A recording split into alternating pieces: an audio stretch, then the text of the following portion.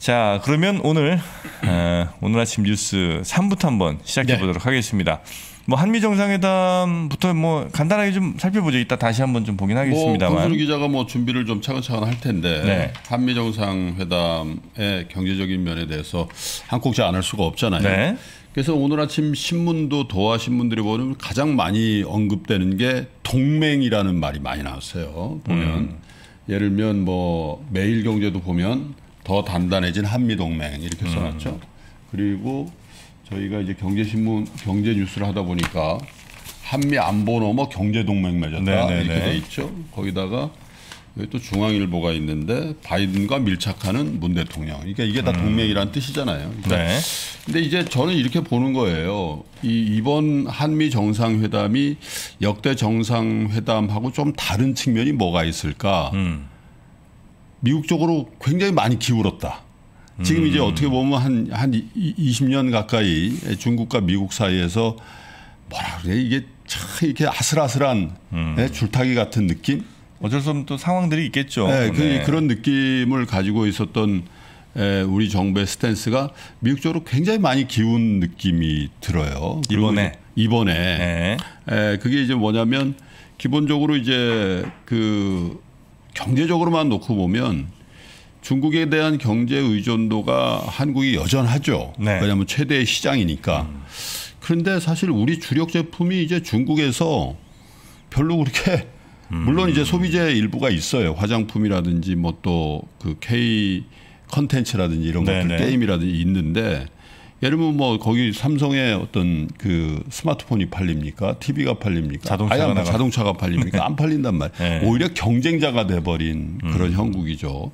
그게 이제 최근 들어 굉장히 촉진이 됐다라는 측면에서 적어도 경제적으로 에, 선택지가 좀 명확해진 거 아니냐. 그리고 음. 이제 에, 바이든 행정부 들어와 가지고 이제 주요한 업종, 특별히 반도체라든지 뭐 배터리다든지 이런 데에 대한 음. 에, 미국의 어떤 굉장히 의욕적인 어떤 내재화 음. 이런 부분들에 대해서 우리 업체들은 반응할 수밖에 없었고 네네. 네. 아, 우리 정부의 입장에서도 그런 어떤 경제적인 그 상황의 변화가 에, 어떤 동맹의 동맹을 강조하는 바이든 정부의 출범과, 출범과 함께 굉장히 명확한 선택지가 될 수밖에 없는 그런 여건 아니냐. 음. 왜냐하면 지난 4년 동안 사실 트럼프 대통령은 동맹이라는 걸 거의 의미 없게 만들어 버렸잖아요. 음. 대표적인 게 이제 뭐 방위분담금 뭐 몇십 배 올리는 뭐 이런 네네. 건데 그래서 이제 에, 그런 것들이 굉장히 맞아 떨어진 거 아니냐. 바이든 행정부의 동맹의 강조 그리고 이제 주요한 산업에 대한 중국과의 경쟁에서의 선택의 강요 네. 이런 것들이 이제 에, 우리 업체 입장에선 중국이 중요하지 않은 건 아니나 음. 미국 시장을 개척하지 않. 예를 들면 배터리 업체 입장에서 미국 시장을 개척하지 않으면 대안이 별로 없다라는 얘기들 많이 하잖아요. 네네네. 유럽은 이미 이제 많이 진출해 있는 거고 중국 시장을 기대할 수는 없는 거니까 음. 그죠? 그래서 에, 주요한 산업에서 굉장히 중국과의 경쟁 체제가 확산됐던 게 우리도 모르는 사이에 네. 에, 우리 재계의 이런 움직임. 그래서 사실 뭐 44조를 투자한다 그래서 일부에서는 뭐 이게 저 뭐 우리 퍼주기다 이런 얘기들도 나오고 있는데 네. 우리 기업들이 뭐 바보입니까? 음. 그거 그거 그냥 갖다 퍼주게. 예를 들면 우리 정부가 이제 매번 이제 출범할 때마다 이 대기업들이 이제 사업 계획을 해서 투자 계획을 밝히잖아요. 네. 그래 항상 그런 얘기를 해요. 야, 뭐 정부 출범 맞아서 몇 주. 근데 그거 다 원래 계획에 있던 것들이에요. 음. 대부분. 음. 이번에 미국에 투자하는 것들도 사실 무슨 그 대통령 미국 방문 때문에 갑자기 급조한 거겠습니까? 에, 어차피 다 투자하기로 했던 거고 그 시점을 어느 정도 맞춰준 음, 음. 에, 그런 상황인 것 같고요. 그래서 어쨌든 그 향후에 증시에서도 미국 관련 비즈니스 그리고 미국의 어떤 그 시장에 큰 그 변화가 있는 업종에 대한 주목 이런 네. 것들을 한미 정상회담을 기점으로 좀 봐야 될 것 같고 그럼 이제 반대로 중국은 신경 안 써도 되냐 조금 걱정되는 부분이 음. 있어요. 예를 들면 공동성명의 대만 문제라든지 뭐 네네. 이런 문제들이 명시회 명시됐기 때문에 중국의 입장이 어떻게 나올지 지금까지는 뭐 예전에 그 스가 일본 총리와의 그 공동 성명 이후에 나왔던 굉장히 격한 반응은 아직은 안 나오고 있는데 중국은 여러 가지 생각을 할 겁니다. 네. 그래서 어떤 상황이 될는지 좀 궁금하고요. 그러나 현재까지 제가 뭐 작년 말에도 그런 말씀드리고 올해 초에도 그랬습니다만은 어쩌면 2021년은 대한민국이 미국과 중국 사이에서 가장 유리한 입장에 처해 있을 수도 있다. 대한민국이 대한민국이 음. 일단은 러브콜을 할 거기 때문에 네네네. 네, 바이든 행정부도 지금 러브콜을 하는 거잖아요. 음. 네, 들어달라 이렇게 러브콜을 하는 거고 중국도 격한 반응이 안 나온다는 한국의 달라진 위상이라는 거죠. 예전에 에, 대통령이 이제 미국 가면은 일방적으로 뭘 얻어와야 되는 상황이었는데 네. 지금 이제 주고 오는 거잖아요. 음. 예를 들면 음. 에, 그래서 에, 한국의 어떤 그 기업 또 산업의 어떤 위상이라는 게 굉장히 높아졌다라는 걸 우리가 느낄 수 있는데 그 사이에서 어쨌든 2021년 내내 양쪽으로부터 좋은 분위기의 어떤 러블코 우리하고 뭘 해보자 이런 입장일 텐데 그게 한시적이라는 게 이제 문제겠죠. 음. 그 다음엔 이제 그게 잘 안 됐을 때 어느 네. 일방으로부터 굉장히 큰 압력을 받을 수 있는데 이제 그때를 어떻게 잘 극복할 거냐 그리고 우리 기업들이 어떻게 선제적으로 더 경제 균형을 발휘해서 그런 압력에도 굴하지 않고 잘 버텨내느냐 이런 음. 숙제가 우리 앞에 있는 것 같습니다. 네.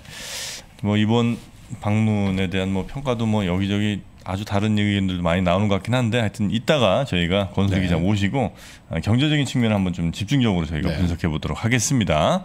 자 그리고 두 번째 뉴스 아 코인이 지금 어 고가 대비 예선 한 반 가까이 떨어진 것 같은데. 반은 아니고 뭐 한 40%대 빠진 것 같아요. 40% 정도. 네, 8천만 원 정도 찍었는데 아직 4천만 원대 지금 한 하고 있으니까 4,200 정도 하는 것 같습니다. 거의 비트, 반 빠졌네요. 네, 비트코인 기준으로. 한국 기준으로 그렇게 돼 있는 네. 거죠. 근데 이 코인에서 빠져나간 돈들은 그럼 어디로 가나? 뭐 금으로 갔다는 얘기도 있고 주식으로는 아직 별로 안 온 것 같고요. 원자재로 제가 볼 때는 아직은 그 거기 있는 것 같아요. 아직은 코인 쪽에. 네. 코인 하시는 분들이 팔아가지고 뭐 금 샀다? 코인 하시는 분이 팔아가지고 예를 들면 주식 샀다 이런 얘기 잘 못 들어봤거든요. 네. 아직 거기 스테이 하는 것 같은데 근데 이제 돈이 작은 게 아니라서 그래요.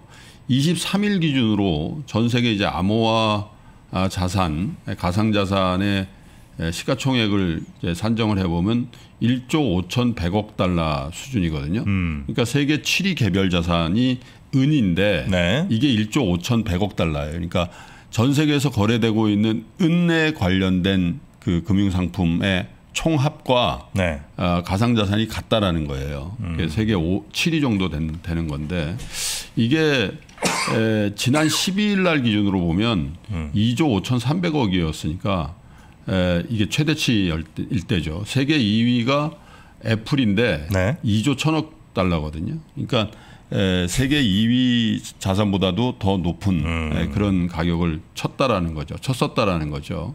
근데 어쨌든 뭐 최근에 한 절반 가까이 조정을 받고는 있는데 그래도 네. 굉장히 높은 가격이죠. 저점 대비해 보면. 그래서 이게 더 빠질 경우에 네. 여기서 이탈한 자금들이 어디로 갈 거냐. 이제 그게 이제 최근 들어서 이제 금이 많이 오르니까 음.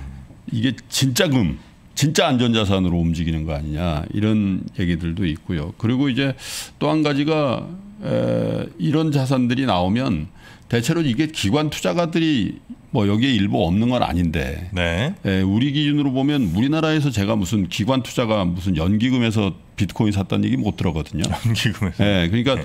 우리는 대부분 그 개인 투자자들이에요. 그렇겠죠. 그리고 네. 개인 투자자들도 굉장히 많은 개인 투자자들이 쪼개서 거래를 하고 있단 말이죠. 음. 그래서 만약에 이분들이 아 이제 안 되겠다 비트코인류의 이 암호화 자산 안 되겠다라고 청산을 하면은 어디에 갈까 이렇게 생각해 보면 음. 역시 이런 부분에 대한 변동성에 대한 소액 투자자들이 거기서 나와서 예금을 한다든지 뭐 음. 예를 들면 안전한 자산을 산다든지 그럴까 이런 생각이 들어요. 그래서 네. 그게 오히려 어쩌면 변동성이 그래도 유지되고 있는 주식시장이 아닐까라는 음. 생각을 합니다. 아마 그리고 그 자금 중에 일부는 주식시장에 가서 갔을 가능성이 많거든요. 네 그래서 다, 시 주식시장으로 회기가 음. 저는 유력하다라고 보는데 최근 들어 어쨌든 에, 이런 자금들이 빠져서 오는 건 아닙니다만 현재 금융시장을 반영한 것 같긴 한데 음. 에, 금값이 의미 있게 반등하고 있다라는 것과 에, 이 비트코인의 가상자산이 예, 굉장히 크게 빠지고 있다라는 거는 조금 에, 의미 있는 상관관계를 갖는다 이렇게 분석들을 하는데 네. 그 자금이 빠져서 저쪽으로 가는 것 같지는 않고 전 세계 어떤 리스크에 대한 에, 금융시장의 반응이 이런 거 아닌가. 예, 그 리스크라는 게 굉장히 유- 이 변동성을 키우면서 커져 있기 때문에. 에, 금이 자연스럽게 지금 반등하고 있다 이렇게 보셔야 될 것 같고 그리고 2018년도 초에 우리가 추억이 있죠 2,600 포인트 대에서 에, 고점을 찍고 내려갈 때 비트코인도 고점을 찍고 내려가? 버렸거든요 전후로 해서 그래서 에, 그때를 좀 추억하는 분들도 에, 아마 이 주시장에 대한 에, 경계 심리 이런 것들을 좀 반영하는 거 아닌가 그런 생각이 좀 듭니다. 뭐 해외 선물 옵션으로 가셨다는 분들도 음. 계시네요. 채팅창 보니까. 어디를 갔대요? 아, 빅텍을 줍줍했다는데 저분은 네? 빅텍. 아 빅테크를. 네, 아무래도 아니, 이제. 빅텍 있어 빅텍 빅텍이라고 네. 무기 만드는 데 있어요 우리나라 코스닥에 아 회사 이름이에요. 음. 아 그래. 빅테크 말고 빅텍 아 네. 하여튼 뭔가 이 변동성이 어, 그런 코인 시장에서 조금 아 미- 빨리 강원랜드 열어야 된다는데 네. 뭐 이렇게 가시려고 한번 그러세요. 코인은 영원한 코인너라는 예? 자, 하여튼 아, 코인 시장에서 이탈 자금이 어디로 갈지도 눈여겨 살펴보도록 하고요. 그리고 세 번째 뉴스입니다. 아, 테슬라 자동차 아, 판매가 한 네. 20% 가까이 줄어드는 동안 벤츠나 다른 아, 브랜드들의 전기차 판매가 꽤 급성장하고 아직 뭐 대수로는 안 되겠습니다만 그렇죠. 급성장하는 모양입니다. 예, 이제 해외에서 수입하는 네. 예, 전기차가 1월부터 4월까지 우리나라에서 얼마나 팔렸나를 본 거예요. 국토교통부 차량 등록 통계라는 걸 보니까 에, 총 4,351대. 그렇게 많이 팔린 건 아니네요. 전체 대수 수입, 절대 절대 수입해서 대수로 다 팔린 게 4,300대 정도 되는데 네. 2.0% 2% 늘었대요. 전년 동기 대비해서 전기차 시장이 막 커지는 것 같은데 그렇지 2% 늘었으니까 그냥 스테이했다는 거죠. 네. 그런데 이제 의미 있는 통계 하나가 뭐냐면은 테슬라가 그러면 이 4,200대, 4,300대 중에 몇 대냐? 3,300대예요. 음. 네. 그런데 이게 작년에는 4,075대였으니까 네. 18%가 줄었다는 거예요. 테슬라 판매가.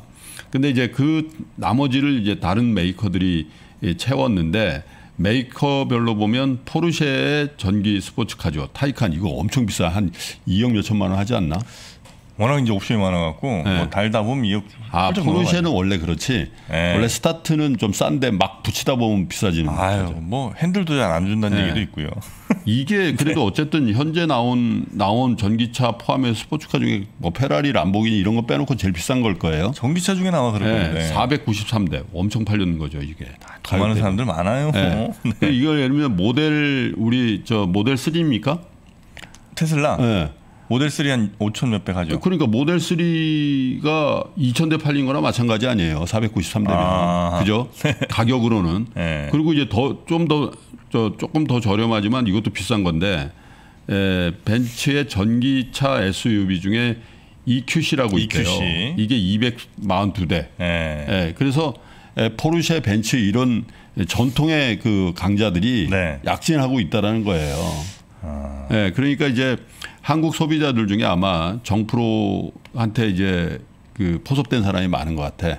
포섭이 아니라 제가 네. 예언했잖아요. 단차가 뜬다. 뭐, 아, 이거 안 돼. 타보면, 아, 네. 그래도 테슬. 근데 이런 거 한번 생각해 봤어요. 테슬라가요. 테슬라를 타면 네. 왠지 좀 시대를 앞서가고 음. 뭔가 어? 생각이 있어 보이고 막 네, 이런 네, 이런 네. 느낌이 이미지가 좀 있죠. 네. 사실 그런 게 굉장히 중요한 거거든 차를 고를 때. 네. 근데 최근 들어서 막 일론 머스크 막 저렇게 해버리니까 그 이미지에도 영향을 준 거 아닌가? 네. 그래서 아이 나 됐어. 예? 저 도, 아 도지코 아 이거 됐어. 네. 그래가지고 이제 돈 좀 있는 사람들 입장에서는 아 내가 굳이 뭐 테스 그리고 테슬라가 이렇게 뭐 일부 모델을 제외하고 이렇게 고가 고가권이라는 느낌이 안 들잖아요. 제일 많이 파는 게 모델 3인데. 3, 3죠. 네. 그러니까 이제 에, 이 초부유층 이런 입장에서는 야 브랜드도 좋고 단차도 안 뜨고 인테리어도 가죽인 거 음. 뭐 있어 타이칸 근데 타이칸 타는 사람들 얘기를 들어보면 굉장히 좋다는 거거든요 타이칸 좋대요? 좋다더라고 아, 나 타이칸 못 봤네. 아, 네, 좋다더라고 내가 아는 분이 저 회사 대표 한 분이 이거 타는 걸 한번 들어봤는데 아. 자기가 타본 차 중에 제일 좋대 어, 그래요? 네. 타이칸이? 근데 뭐 전기차 처음 타는 거니까. 네. 근데 아우디에 뭐 이트론 이런 것도 좀 팔리고 음. 근데 미미합니다만 어쨌든 이게 이게 어떻게 보면 한국만 그러겠냐 이거죠. 음. 네.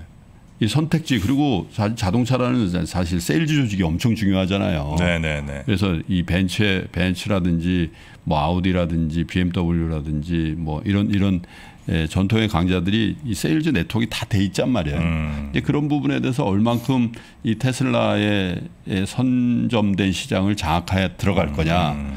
이게 아마 테슬라 주가에 가장 중요한 거 아니냐. 사실 에, 일론 머스크의 말 때문에 뭐 테슬라가 빠졌다라고 하는데 음. 어쨌든 한국만 놓고 막 한국이 어떻게 보면 테스트 받을 수도 있어요.